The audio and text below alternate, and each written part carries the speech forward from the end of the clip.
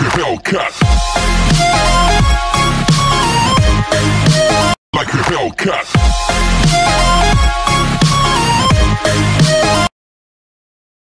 السلام عليكم ورحمة الله بسم الله الرحمن الرحيم والصلاة والسلام على أشرف المرسلين أعزائي المشاهدين مشتركي ومتابعي القناة الكرام أهلا بحضراتكم في قناة الدكتور أحمد خليل على موقع اليوتيوب قناة لتحمل شعار التعليم التدريب التثقيف أتمنى لكم دائما مشاهدة هادفة وشيقة دائما ومعا.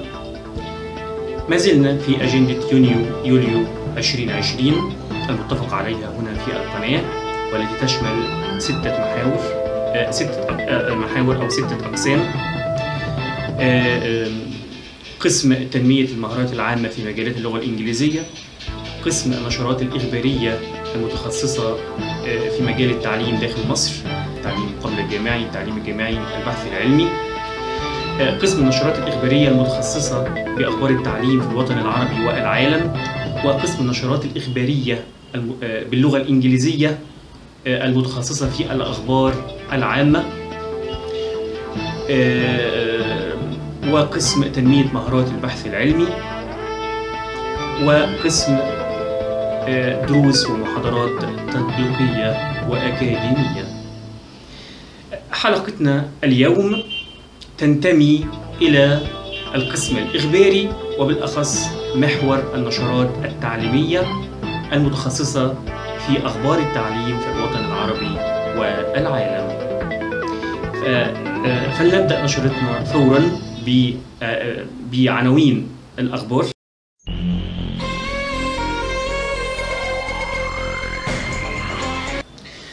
بحضور الأستاذ الدكتور عمرو عزت سلامة وباستخدام تقنية الاتصال عن بعد انعقاد المجلس التنفيذي لاتحاد الجامعات العربية ويصدر عددا من القرارات. سنتعرف عليها بعد لحظات إن شاء الله. شركة أوليفر وايمان الدولية تدعو مدارس الشرق الأوسط لإجراء تغييرات جوهرية في إجراءات عملها استعدادا لمرحلة ما بعد كورونا. مشاركة وزير التعليم السعودي في المؤتمر الاستثنائي لوزراء التربية الخليجي عن بعد.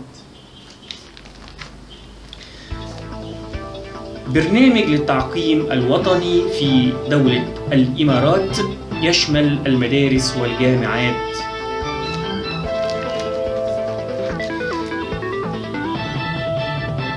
كل المحاضرات عبر الإنترنت العام المقبل في جامعة كامبريدج البريطانية. ومن العناوين ننتقل إلى التفاصيل ولكن بعد هذا الفاصل القصير جدا.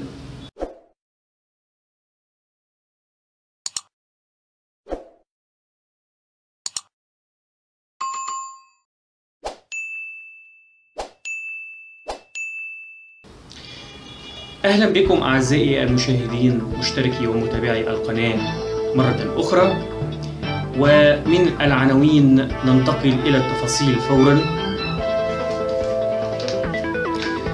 بحضور الأستاذ الدكتور عمرو عزت سلامة وباستخدام تقنية الاتصال عن بعد انعقاد المجلس التنفيذي لاتحاد الجامعات العربية ويصدر عددا من القرارات. تفاصيل الخبر في إطار أزمة فيروس كورونا المستجد في العالم. اختتم المجلس التنفيذي لاتحاد الجامعات العربية في التاسع من يونيو 2020 أعماله عبر تقنية الاتصال عن بعد بحضور الأستاذ الدكتور عمرو عزت سلامة أمين عام اتحاد الجامعات العربية وبرئاسة الأستاذ الدكتور ماجد نجم رئيس الدورة 52 للمؤتمر العام لاتحاد الجامعات العربية ورئيس المجلس التنفيذي وحضور الأمناء المساعدين للاتحاد الدكتور خميسي حم- حميدي والدكتور عبد الرحيم الحنيطي. وبمشاركة رؤساء الجامعات العربية في عدد من الدول مثل مصر والأردن والسعودية ولبنان واليمن قطر والبحرين وع- وعمان وفلسطين وموريتانيا. أبرز قرارات المجلس. الموافقة على تفويض المجلس التنفيذي للاتحاد باتخاذ القرارات الهامة نيابة عن المؤتمر العام في ظل الظروف السائدة واعتبارها ملزمة. الموافقة على تأجيل انعقاد المؤتمر العام للاتحاد حتى مارس 2021 تسهيل إجراءات العضوية للجامعات العربية الراغبة بالانضمام لمظلة اتحاد العربية والجدير بالذكر أنه تمت مناقشة تطوير منظومة التعليم عن بعد والموافقة على عضوية 15 جامعة عربية جديدة وفي نهاية الاجتماع تم إقرار الموازنة العامة والحسابات الختامية للاتحاد. كل التوفيق لاتحاد الجامعات العربية. بقيادة الأستاذ الدكتور عمرو عزت سلام.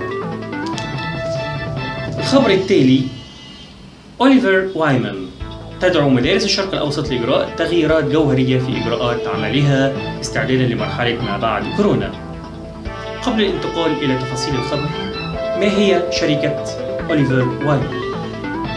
أوليفر وايمان هي شركة استشارات إدارية دولية رائدة على مستوى العالم. لها فروع في أكثر من 50 مدينة في 25 دولة حول العالم.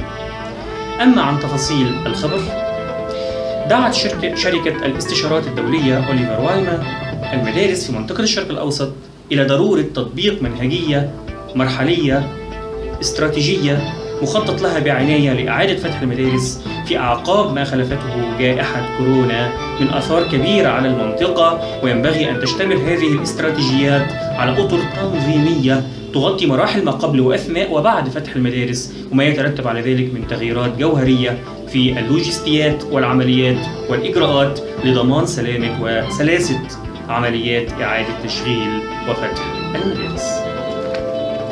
الخبر التالي مشاركة وزير التعليم السعودي في المؤتمر الاستثنائي لوزراء التربية الخليجي عن بعد.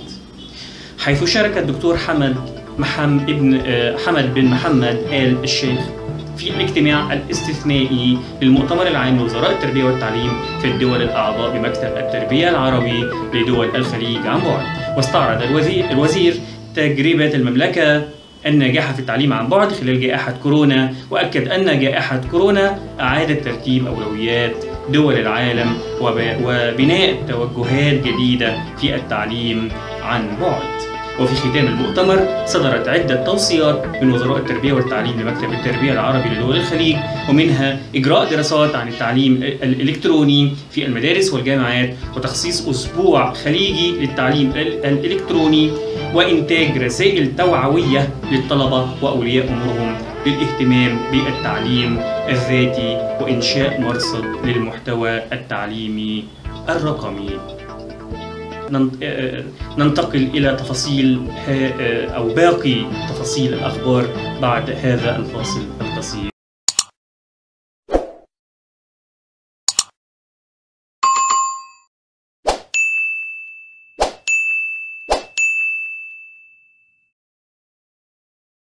أهلا بحضراتكم مرة أخرى ونستكمل تفاصيل الأخبار.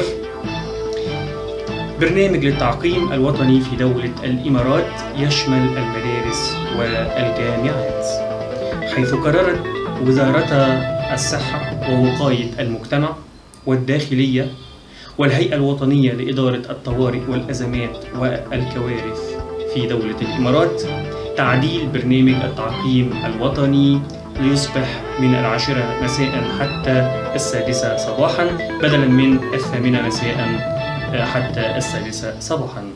ويشمل هذا البرنامج تعقيم كل المؤسسات التعليمية من مدارس وجامعات وكليات ومعاهد في دولة الإمارات.